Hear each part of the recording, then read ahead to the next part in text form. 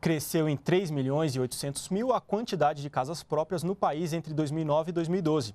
É o que revela a pesquisa nacional por amostra de domicílios, a do IBGE. O levantamento comparou indicadores do ano passado com estudos anteriores. Entre 2009 e 2012, a quantidade de casas próprias aumentou em 3 milhões e 800 mil moradias no país. Resultado que reflete as políticas públicas de incentivo à habitação e de acesso ao crédito. Neste mesmo período, dois fatores estão relacionados com o aumento do número das casas próprias no Brasil: o programa Minha Casa Minha Vida e o acesso facilitado ao crédito imobiliário da Caixa Econômica Federal.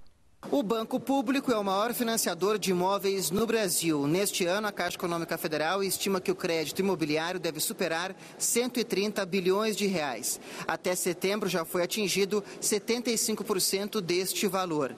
André aproveitou a oportunidade no ano passado. Financiou apartamento de 100 metros quadrados. Vai pagar o financiamento de 250 mil reais em 20 anos, com juros de 7% ao ano. A vantagem total da Caixa foi o financiamento 100% também, né? Além dos juros mais baixos, o financiamento 100%. Israel também dá vida à estatística de brasileiros com moradia própria. Conseguiu no ano passado este apartamento de 43 metros quadrados por meio do Minha Casa Minha Vida.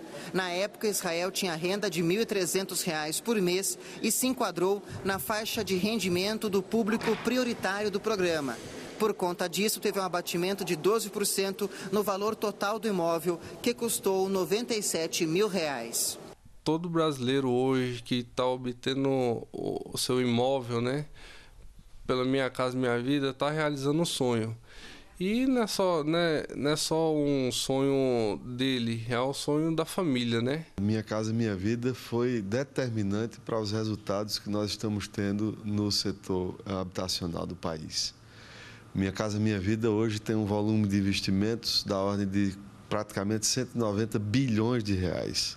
Nós temos aí também nesse período uh, praticamente já 1 milhão 350 mil moradias entregues. Né? E agora só no governo Dilma nós temos praticamente 2 milhões de moradias contratadas, o que sem dúvida nenhuma é um número bastante expressivo, inclusive se levarmos em conta o déficit habitacional.